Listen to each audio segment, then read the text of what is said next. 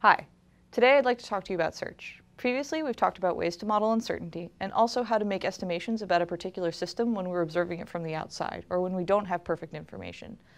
At this point, we've almost got enough components to attempt to make an autonomous system, but at this point, we've also never haven't enabled our autonomous systems to make complex decisions for itself. This is why we want to be able to uh, encode search, or we want to be able to enable a system to make an evaluation of a succession of decisions or a succession of actions when there are multiple choices and possibly multiple choices at every level.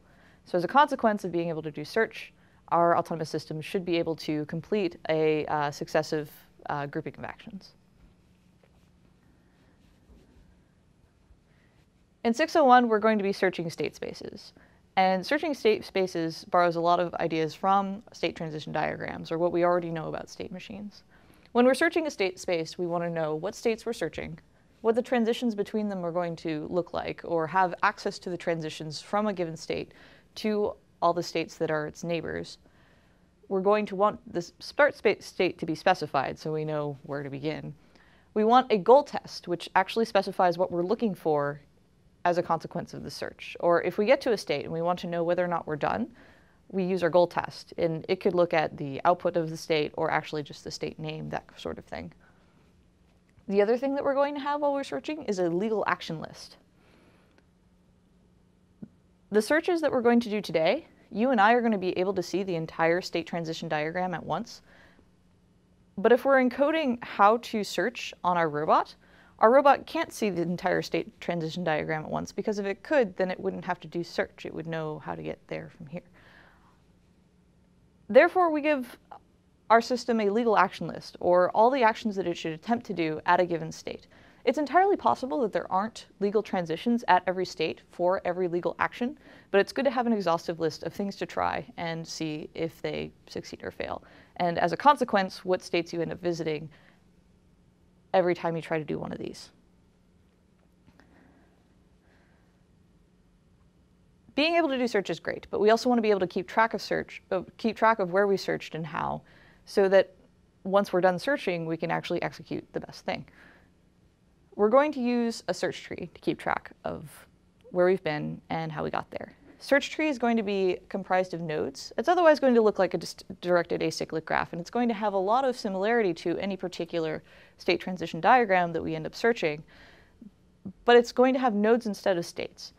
Nodes are different. Nodes represent both the state that you've expanded as a consequence of being in that uh, state you've eh, visited as a consequence of um, expanding its parent node, the parent node, or the place that you came from as a consequence of getting to that node, and the transition that you made in order to get there, or the action that happened that got you from the parent node to the child node.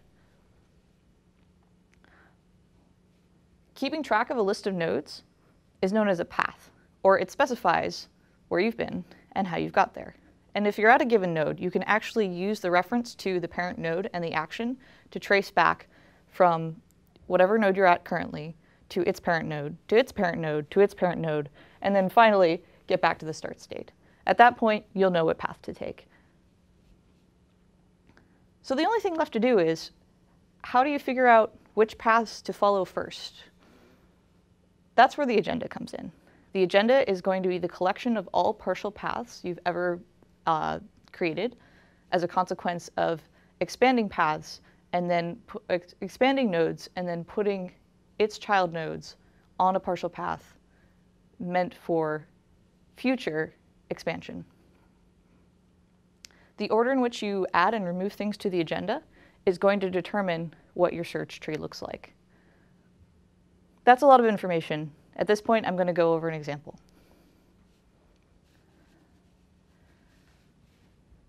We're going to search the state transition diagram. We're going to start at A, and our goal test would be whether or not our state was equal to E. Today we're going to try two different kinds of basic search. One is referred to as breadth first search, or BFS, and one is referred to as depth first search, or DFS.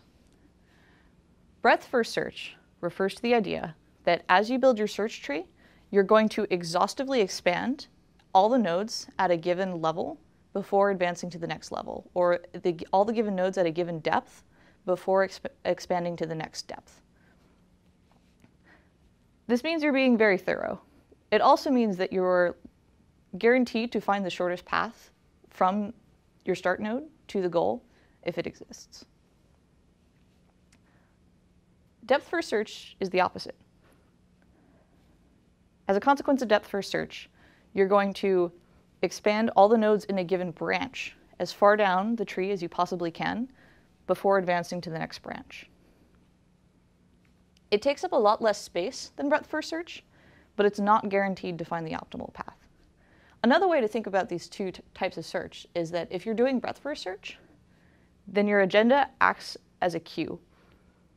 First items in, or first partial paths that you discover, are the first items out, or the first partial paths that you end up expanding.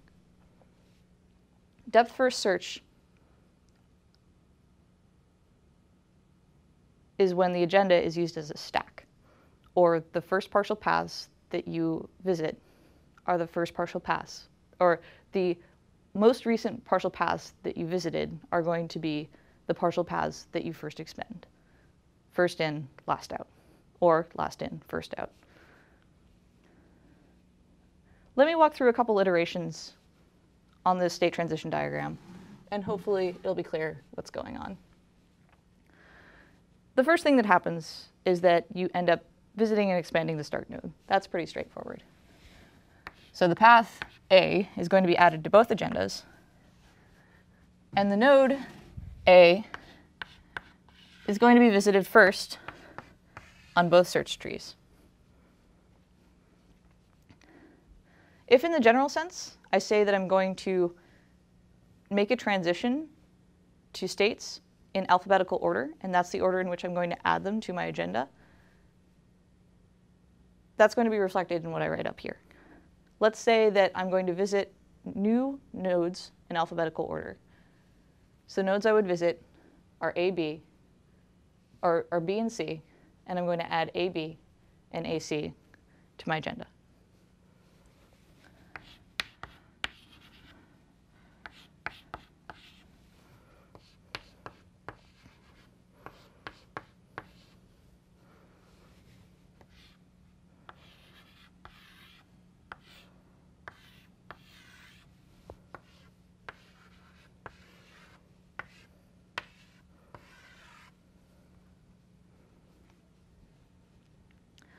Here's where the difference between breadth first search and depth first search comes in. In breadth first search, because I'm following the convention first in, first out, if I place the partial path AB in my agenda first, then I'm going to expand B as a consequence of the partial path AB first. So when I go to B, I'm actually going to expand B now I'm going to look at the nodes that I can visit as a consequence of expanding B. The ones that I can visit are C and D. And I'm going to add the partial paths A, B, C, and A, B, D to my agenda. So AC, I'm just going to move to the front of the queue, or the agenda. And I'm going to add A, B, C and ABD.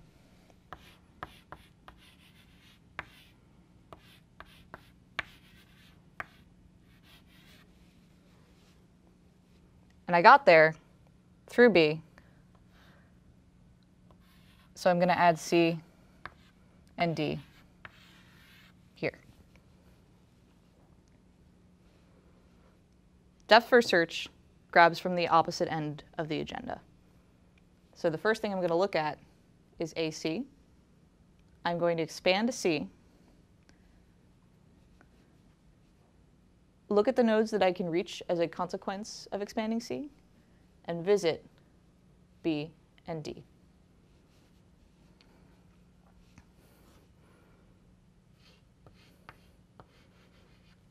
AB is still hanging out here. I popped off AC to use it in order to expand C's children. And I'm going to add ACB first and ACD second.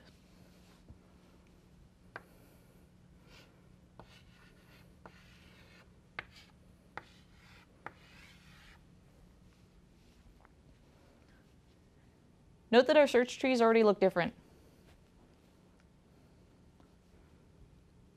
And we'll actually end up reaching the goal using one of these search strategies first than the other, or, you know, as opposed to the other. If I go back to breadth first search, I'm going to pop the partial path AC off the front of uh, my agenda. I'm going to expand C. Expanding C gets me B and D. I'm going to move over my existing partial paths.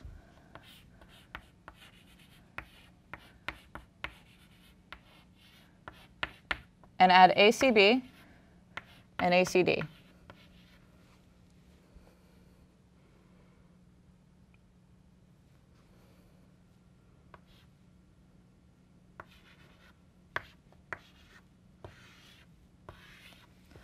I've staggered these in order to indicate that they're a consequence of a third iteration of breadth first search, but they're actually considered to be at the same depth since their parents are considered to be at the same depth, since their parents are parents of the start node.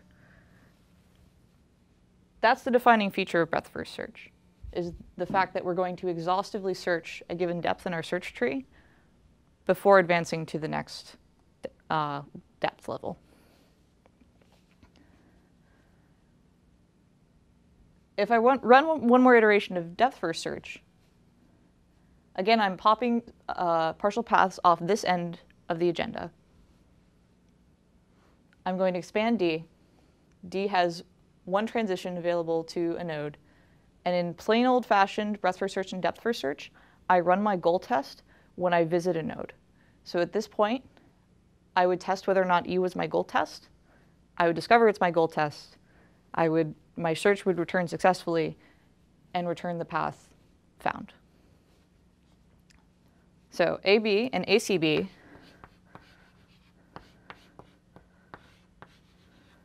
remain on the agenda. I popped off ACD in order to expand D. And I found this path.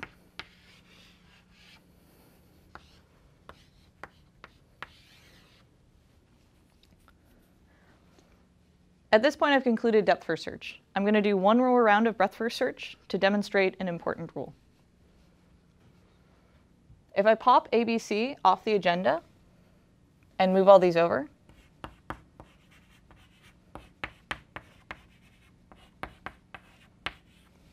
if I'm looking at A, B, C, and I look at the children of C, the two children of C are B and D.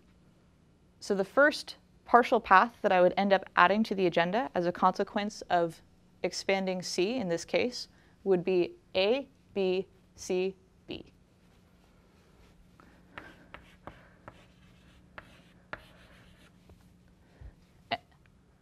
And it would look like this.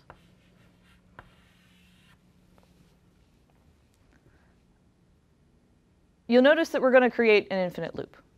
And the there are two basic rules of basic search that I need to emphasize now to prevent you from doing things like creating an infinite loop.